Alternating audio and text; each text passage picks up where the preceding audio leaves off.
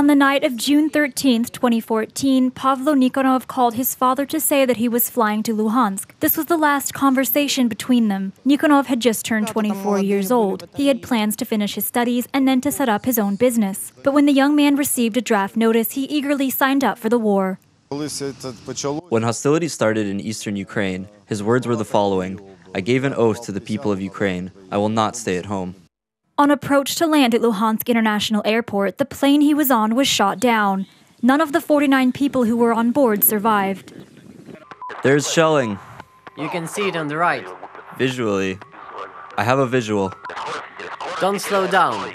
This is a real model of the IL 76 military transport aircraft. It weighs about 150 tons. An officer of the General Staff, Viktor Shidlyuk, says it would be impossible to survive falling from such a height. Висота була it was shot down at the height of about 600 meters. There were no chances to survive. Shidlyuk is a member of the group that conducts the study of the defense of Luhansk airport. At the time, 150 Ukrainian defenders were on the ground and completely surrounded by militants. They were without food or ammunition. Three military transport planes were sent as backup.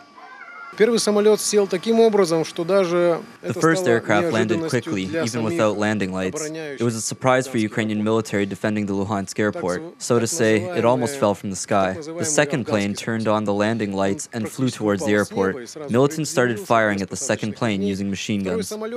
One of the rockets launched from a man portable air defense system hit the aircraft's engine. Later, the State Security Service published the negotiations of the militants. Comrade Major, two planes entered airspace. One has been shot down. The second has landed. We have no more rockets. Other rockets failed to fire. Nonetheless, one plane was shot down.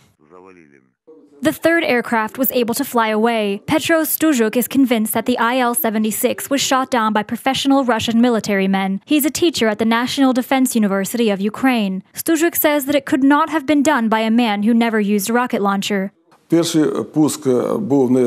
The first launch missed. Most likely, the crew saw the firing and took certain maneuvers, but the next rocket hit the engine. However, it should be noted that if one engine of such an aircraft fails, it does not mean that it will lose control. It could make a successful landing. However, based on the data of the investigation, after the rocket hit the engine, it was finally destroyed by artillery and small arms fire.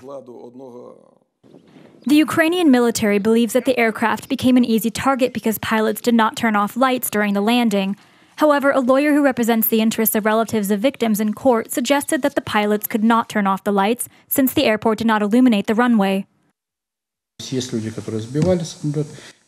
There are people who shot down the aircraft, and as well, there are people who did not take measures to ensure its safe landing. They knew since the beginning of June. Since that time, there was no electricity.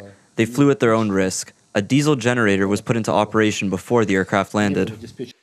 The military prosecutor's office accused General Viktor Nazarov, who at the time of the tragedy headed the anti terrorist operation headquarters, of duty negligence. According to the investigation, he knew about a possible terrorist attack, but still sent the aircraft out. In March 2017, the court found him guilty and sentenced him to seven years in prison.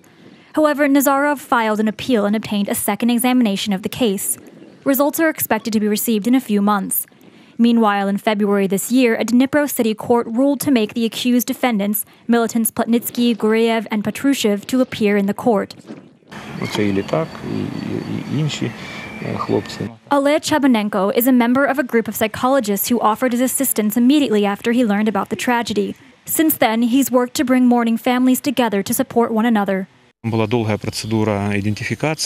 An identification procedure took much time. It lasted more than 40 days. Expectations and hesitations exhausted everyone. There was a message from several families that it would be nice to get acquainted all together because their children died on one flight. And we had an idea to get them acquainted. They became a big family, they support each other. The Family Circle organization has grown to include relatives of other people killed in the area hostilities. Pavlo Nikonov's father says that now the most important task for them is to achieve the status of defenders of Ukraine for all those who were killed in the East. We probably have the largest organization in Ukraine. We are engaged in raising money for the military. Well, you know, the majority of parents, widows, no one gives up. We continue the struggle to have our children remembered. On this anniversary of the tragedy, psychologist Oleh Chabanenko proposes that everyone change their cover photo on Facebook to a photo of all those who were killed in the aircraft crash with hashtag 49 for at least a few days.